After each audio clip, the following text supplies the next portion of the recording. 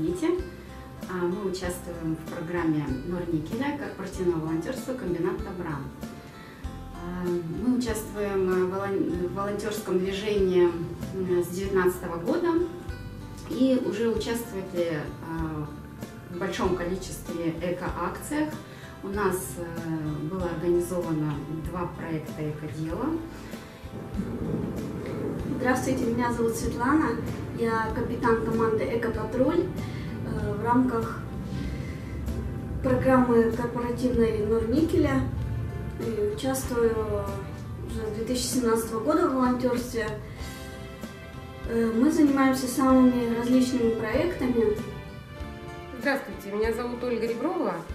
Дмитрий Русаков. Мы волонтерская семья и участвуем в программе «Комбинат добра».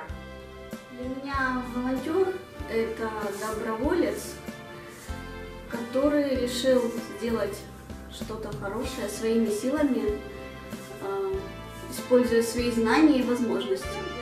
Это человек, который э, помогает людям, меняет мир вокруг себя, в первую очередь это бесплатно. То есть мы не ждем за свою работу никаких материальных ценностей. Вот. И э, чтобы стать волонтером вообще, то есть что для этого нужно? То есть нужна, нужно желание, ощущение потребности, либо помочь кому-то, либо изменить мир вокруг себя. То есть ты должен подумать, что ты хочешь делать, что ты можешь делать, для кого ты это будешь делать, чему нужно еще научиться. Волонтер это образ мышления, это состояние души, это то, что занимает все твое свободное время. Не зря есть такое, такая шутка про волонтеров, когда спрашивают у волонтера, а что вы делаете в свободное время? В какое время? Волонтеров все, что он может отдать, он отдает. Я считаю, что волонтером может быть любой человек, от мала до велика, и добрые дела может делать любой человек. Главное, чтобы у него было желание, неравнодушие к окружающему нас миру, э, к разным ситуациям. И волонтер, он ну, вкладывает в это не только свою душу и добрые мысли, и делает хорошие дела, но при этом вот э, старается позитивный такой вот облик нести для всех, ну, потому что это как мы заряжаем всех энергией, мы стараемся быть э, э, позитивными, добрыми. Я думаю, что волонтером может быть любой человек. Главное, чтобы у него было желание помогать другим, совершать добрые поступки. И, конечно, волонтерство поможет каждому, потому что занимаясь волонтерством, приобретаешь э, новых друзей, э, открываешь новые знания какие-то, учишься новому, работать не только головой, учишься работать руками. В волонтерство можно... Люди попадают разными путями. Э, меня, например, пригласили коллеги по работе. В свою очередь уже я пригласила свою семью участвовать, и моя вся семья полностью участвует, поддерживает меня в моих проектах, помогает, предлагает новые идеи. Выполняя свои проекты, э, мы испытываем разные чувства. Вначале, конечно, всегда идет запал, идея, очень хочется все сделать побыстрее, чтобы все получилось. Возникают какие-то трудности и возникает даже иногда азарт в борьбе с этими трудностями, задачами новыми, которые возникают в ходе выполнения. И, конечно, когда проект заканчивается, всегда испытываешь радость. И вот, например, тебя пожилой человек одинокий встречаешь, ты вручаешь ему этот пакет набор продуктов. Да, для него это настолько радостно, даже люди некоторые начинают плакать. И ты, глядя на этого одинокого пожилого человека, у тебя у самого непроизвольно начинаются слезы. То есть э, тут не только бывают положительные, бывают и грустные эмоции, и смешанные чувства, и бывает и огорчение, когда ты поставил себе какую-то цель, ты, у тебя не получилось. Ну, бывает такое даже, да, но что ж, тогда все равно собираешь себя в кучку, идешь и делаешь. Осуществляя наши проекты, участвуя в разных волонтерских мероприятиях, у меня очень положительные, добрые чувства возникают. И осознание того, что ты даешь намного больше, чем э, получаешь. И что ты очень можешь быть полезен э, как э, вот, окружающим, кому-то просто помочь с кем-то поговорить, а где-то и в таких массовых каких-то мероприятиях. И очень нравится когда ты, конечно, очень нравится, когда ты получаешь за это благодарность, но бывают и негативные какие-то моменты, не всегда тебя благодарят, но стараешься э, на плохое не обращать внимания и, как сказать, встал и тряхнулся и пошел дальше. Ну, я считаю, что волонтером может быть каждый, э, ну, сознательный человек – ну, у меня дети, например, волонтерят с 7 лет, то есть с 7 до плюс 50 точно. И главное, что желание у человека было, личные качества здесь эм, ну, как, играют большую роль, потому что у каждого есть, эм, например, развитие в определенных направлениях, то есть он, э, каждый человек эм, может быть полезен в определенном направлении. На данном поле деятельности э, меня, наверное, привела моя любовь к собакам.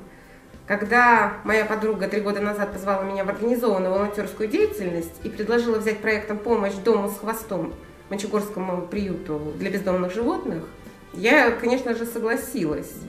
Потому что в нашем городе достаточно большое количество бездомных животных, достаточно большое количество больших собак, которые боятся люди – Притом очень мало кто задумывается, что именно люди являются причиной их появления и распространения.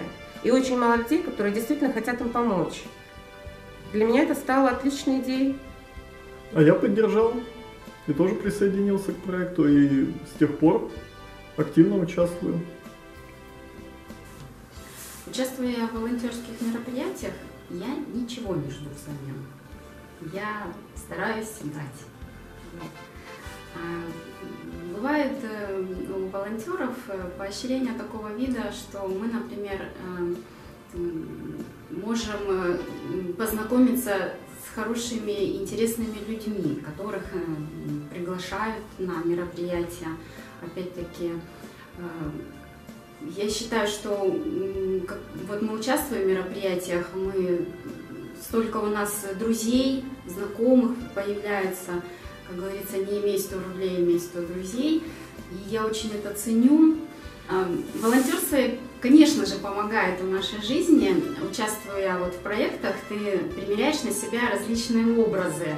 А, будучи инженером по а, образованию, я зато могу быть строителем, учителем, а, организатором, бухгалтером, опять же потому что ты э, задействуешь себя в разных э, видах проектов, и поэтому э, это расширяет твои рамки, рамки твоих возможностей. Но, к сожалению, ребята, не всегда все идет гладко и четко и по размеренному пути. Бывают небольшие минусы. Например, когда ты делаешь э, свой проект «Экодело», например, вот мы строили площадку «Каменный островок» в экологической библиотеке. А, и, к сожалению, иногда у нас э, расписали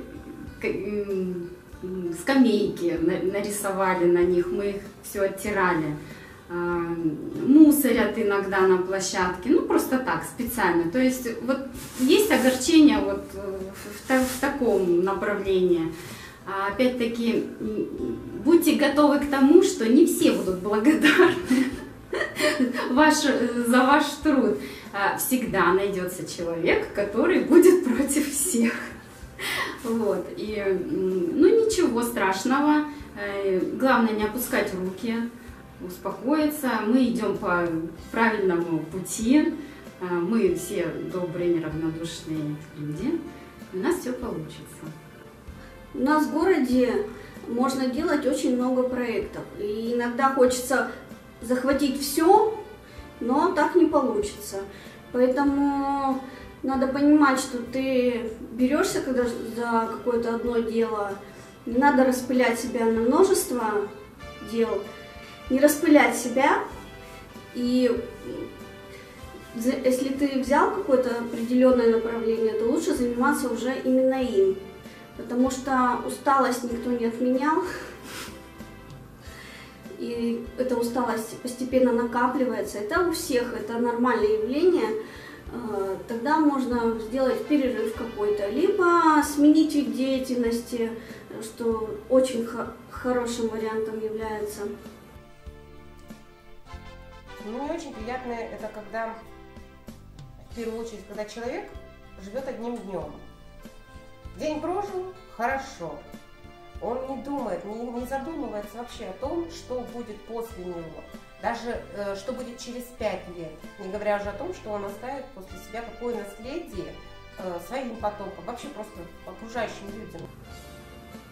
Поскольку я занимаюсь волонтерством с 2017 года, то уже участвовала в многих проектах. 2017 году несколькими командами строили эколекторий в парке. В этом году из-за пандемии очень многим людям пришлось корректировать свои планы.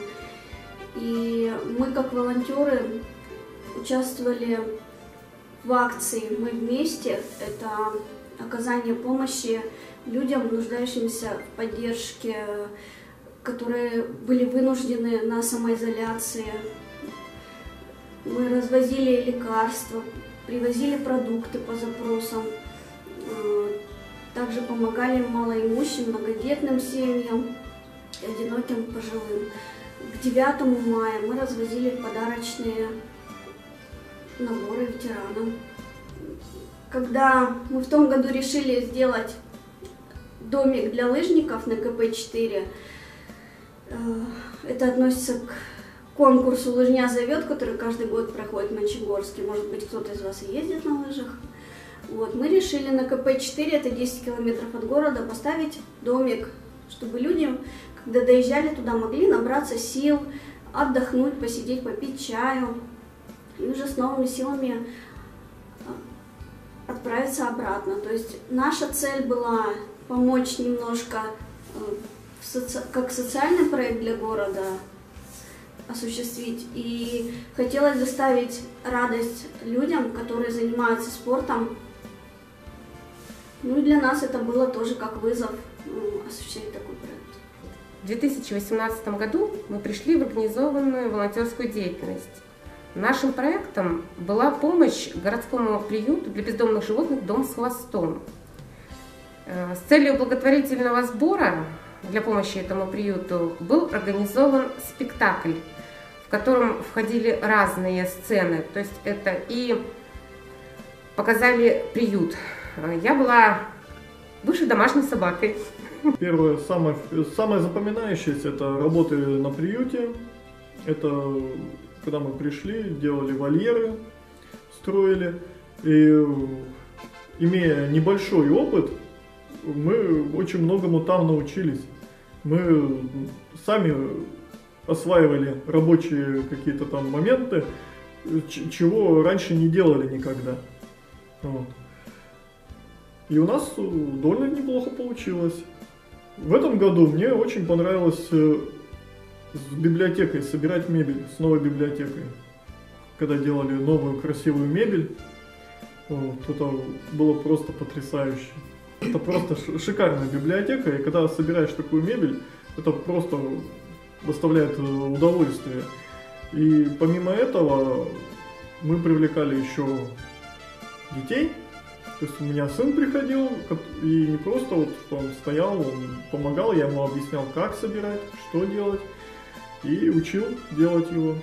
Помимо этого у нас были еще проекты, тоже опять связанные со сборкой мебели, в основном такое. Для Всероссийского общества инвалидов собирали мебель, тоже помогал сын и также учился. Вот. Такие своеобразные уроки труда, волонтерские. А. В прошлом году еще хочу отметить, мы проводили экскурсию для возрастных, для возрастной категории граждан. То есть это были люди из первых выпусков нашего Мочегорского политехнического колледжа, то есть это старше 70 лет. Э, мы проводили экскурсию для них на тему вторичного использования сырья.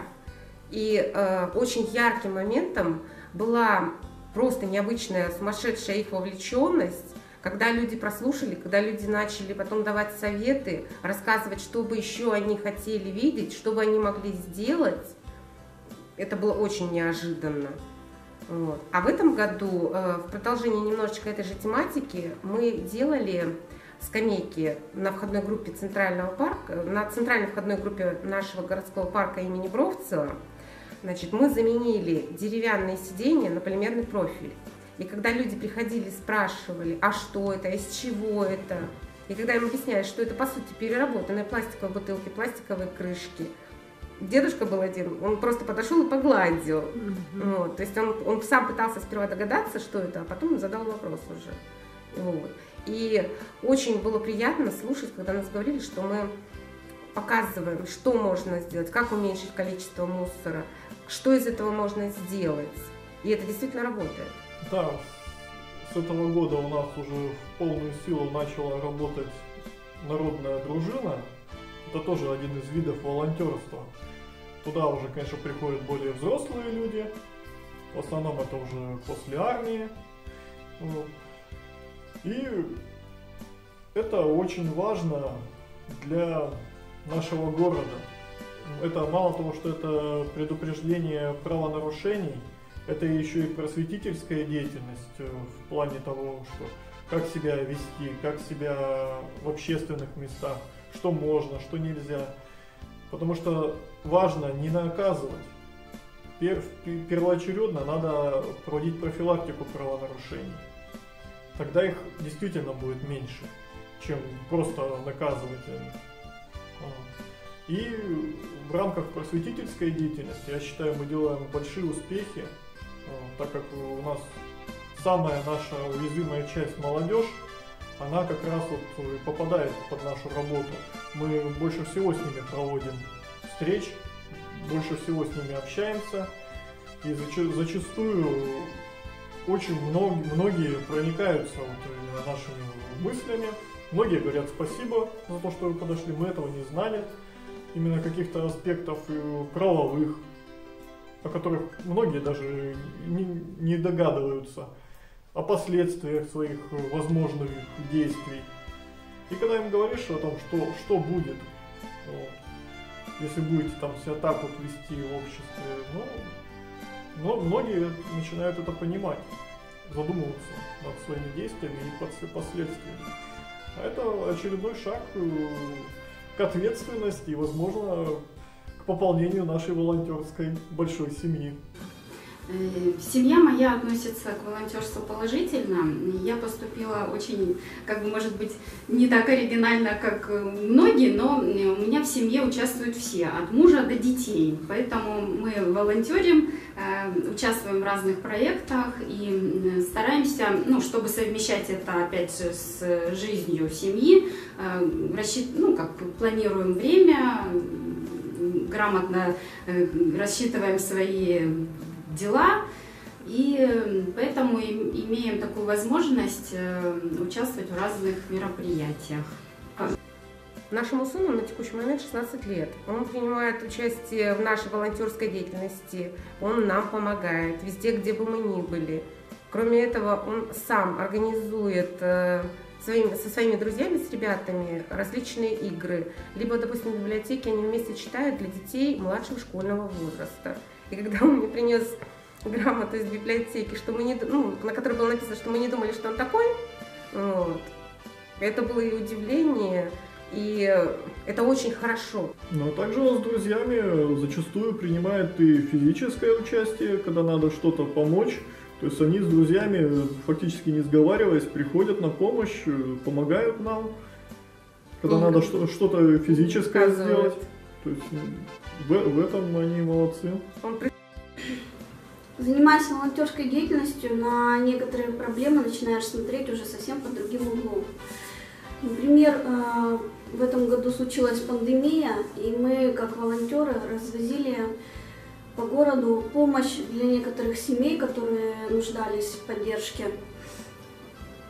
И, например, я вот для себя узнала, что у нас, оказывается, в городе очень много пожилых, одиноких э, людей, которые нуждаются в постоянной помощи. Э, много семей, которые также нуждаются в помощи.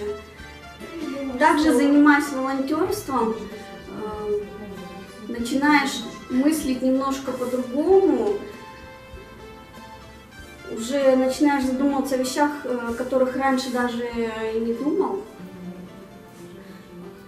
Какие-то проблемы, например, решение проблем, благодаря тому, что ты знакомишься с новыми людьми, получаешь новые мысли, какие-то новые идеи, и для себя очень много познаешь нового в жизни. Я по природе очень стеснительный человек. И вот волонтерство открыло во мне новые, как сказать, возможности общаться с людьми, э, открытость вот э, такая определенная, перебарываешь себе такие барьеры, то есть э, ты начинаешь первый, дел, делать первый шаг сам и где-то с кем-то договориться, например, чтобы состоялось мероприятие, кому-то позвонить. И ну, перестаешь загонять себя в какие-то рамки стеснительности, Э, волонтерство раскрепощает это однозначно.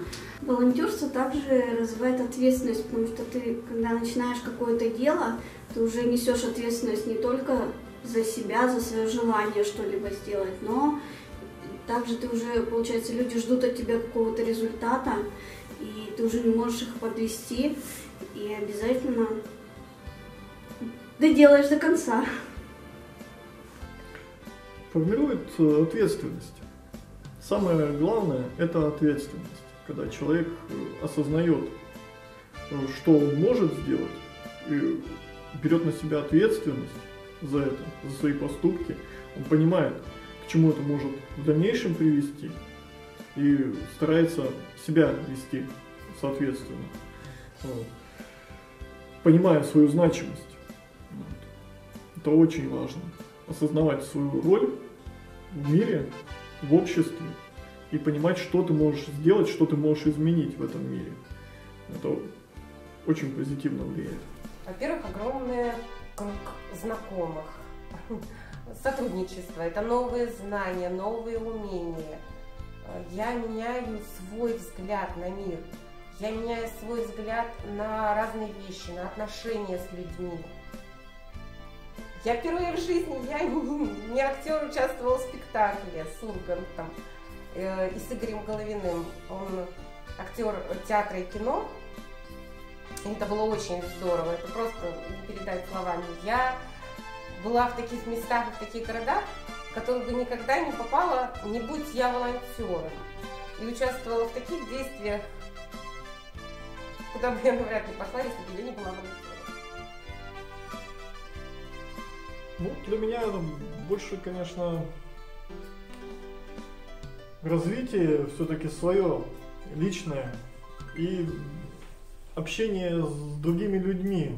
Более больше связей, больше знакомых, более просто стало общаться с людьми.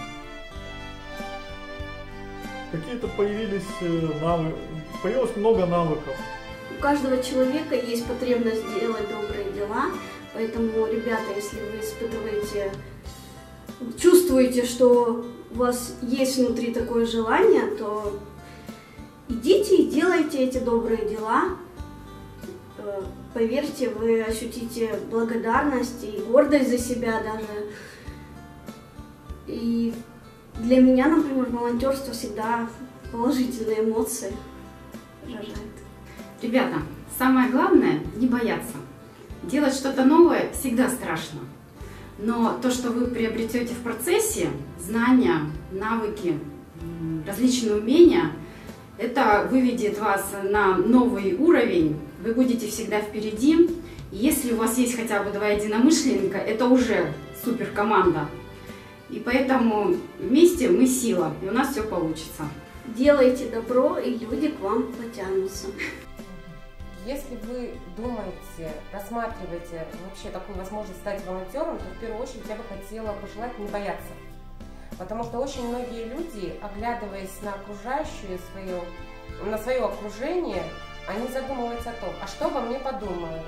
Если в случае этого, когда, допустим, об этом думает подросток, э, он думает, а не буду ли я выглядеть глупо?